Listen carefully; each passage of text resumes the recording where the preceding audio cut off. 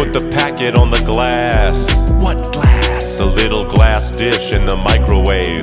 Got it. I close the door. Which door? The door to the microwave. What is wrong with you? You follow all the rules when you're a studious guy. Step